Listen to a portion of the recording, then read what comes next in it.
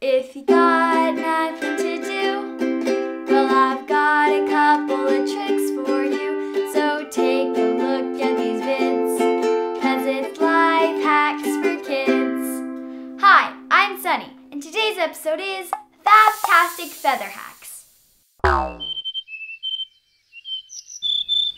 Hello, friends.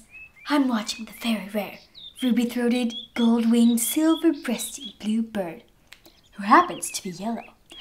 I have to write about his amazing feathers in my bird book, but it seems I can't find my pen. That's okay. I'll make my own with my first hack, the old-timey quick quill. For this, you'll need a feather, food coloring, a bottle cap, and scissors. Cut the tip off a large feather at an angle.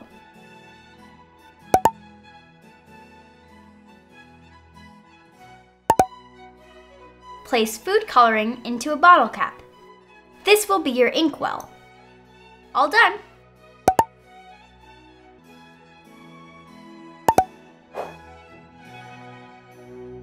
Hacktastic! Feather hacking makes me thirsty.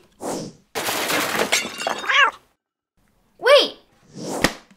Time to make my fantastic plastic feather earrings. For this, you'll need a plastic bottle, a marker, scissors, a hole punch, hooks from old earrings, and needle nose pliers. Draw a feather shape on a piece of the bottle. Cut it out.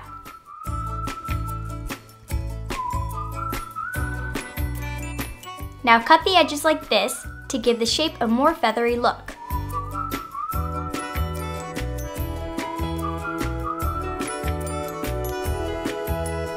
Punch a hole into the top part of your earring.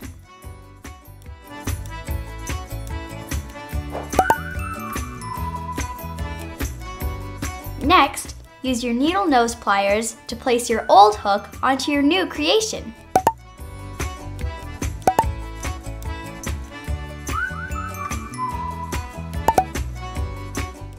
Fantastic!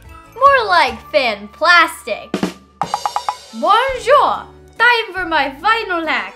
My incredible edible chocolate featherable. I mean, feather. For this, you'll need a microwave safe bowl, chocolate chips, a spoon, a plastic baggie, a clean paintbrush, and wax paper. Oops, a chocolate chip just fell in my mouth. Have an adult melt your chocolate chips in the microwave. Use your brush to paint half of the feather. After you're done, paint the other half. To make the vein down the center, spoon some chocolate into the baggie and close it.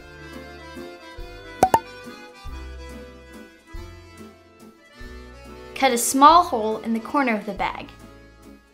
You've just hacked a chef's pastry bag. Squeeze the baggie and draw a line of chocolate down the center of your feather. Place the feathers in the refrigerator until they cool. Once it hardens, carefully peel it from the wax paper.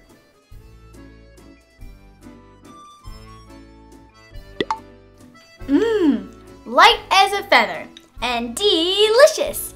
Thanks for watching! Remember to subscribe to DreamWorks TV and click here for more life hacks for kids. Sunny days are here again.